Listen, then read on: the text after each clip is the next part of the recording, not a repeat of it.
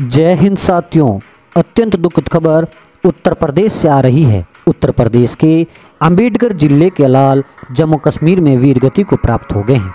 आपको बता दें कि अंबेडकर नगर ज़िले का लाल, जम्मू कश्मीर में हुए आतंकी हमले में वीर गति को प्राप्त हुए हैं, जिनकी खबर गाँव पहुँचते ही परिजनों में कोहराम मच गया है।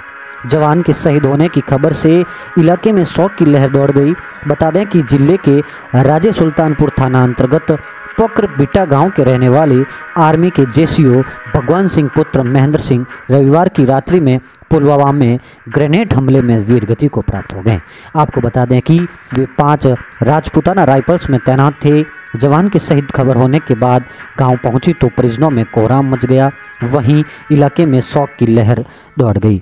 आपको बता दें कि शहीद परिवार में जवान भगवान सिंह के पुत्र यशवीर सिंह व पुत्री स्मृति सहित पत्नी एवं परिजनों का रो रो के बुरा हाल हो रहा है।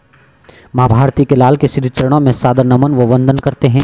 आपको बता दें कि वे नियंत्रण रेखा पर गश्त के दौरान एक ग्रेनेड हमला हुआ था, उसमें वीरगति को प्राप्त हो गए हैं। जेसीओ भगवान सिंह के श्री चरणों में हम सादर नमन व वंदन करते हैं और उनके इस अधम्य साहस को हम नमन करते हैं। शहादत की सूचना के बाद शासन प्रशासन के लोगों व नेताओं ने सोशल मीडिया के माध्यम से शहीद को श्रद्धांजलि अर्पित की है। शहीद भगवान सिंह के लिए दो लाइन। कतरा कतरा भी दिया वतन के वास्ते, एक बूंद तक न बचाई इस तन के वास्ते। यूँ तो मरते हैं लाखों लोग हर रोज, पर मरना तो वो है जो जान जाए वतन के वास्ते। माँ भारती के लाल के श्री चरणों में सादर नमन व वंदन करते हैं। आपको बता दें कि उत्तर प्रदेश के अंबेडकर नगर ज़िले में राज्य सुल्तानपुर क्षेत्र के गाँव पकर बिटा में माँ भारती के लाल भगवान सिंह वीर गति को प्राप्त हो गए हैं।